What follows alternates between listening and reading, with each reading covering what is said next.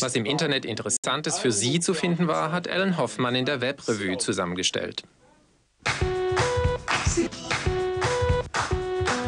Ich sehe zu und denke, was zum Teufel tun die da?